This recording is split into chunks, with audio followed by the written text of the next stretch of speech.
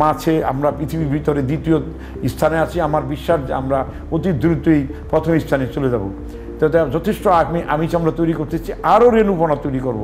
আরও তরি তরকারি, শাকসবজির বীজ আমরা রোপণ, বোপন, বিপণনের জন্য উঠে পড়ে লাগবো। আমরা আরও বেশি ফল উৎপাদন করব। ফল উৎপাদনে আমরা একটা বৈপ্লবিক পরিবর্তন আনার চেষ্টা করব, যেরকম মৎস্য চাষে আমরা যেভাবে নিয়ে আসছি।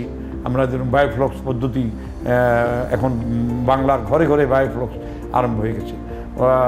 কুয়া পদ্ধতি ঘরে ঘরে আরম্ভ হয়ে গেছে, খাঁচা পদ্ধতি ফেন্স পদ্ধতি যেটাকে বলে, এগুলোকে আমরা অগ্রাধিকার দিচ্ছি। অগ্রাধিকার দেওয়া নদী, শীতের দিনে নদীটা খালি পড়ে থাকে, নদীর পাড়ে যদি আমরা লক্ষ লক্ষ না, এখন লক্ষ লক্ষ আছে। আমি বলব কোটি কোটি এই ফেন্স আমরা ফালাবো এবং ফেন্স পদ্ধতিতে পৃথিবীর অনেক দেশেই মাছ চাষ করে তারা খুব উপকৃত হয়েছে। বিশেষ করে নরওয়ে। নরওয়ে সম্পূর্ণ মাছ নির্ভর দেশ। এক সময় পৃথিবীর শ্রেষ্ঠ ধনীও ছিল নরওয়ে। তার একমাত্র কারণ তারা শুধু মাছ চাষ করে। তা আমরা কেন পারব না? আমরা নদীমাতৃক দেশ, সমুদ্রমাতৃক দেশ, খাল, বিল, নদী, নালা, পুকুর গ্রামে অজস্র আছে।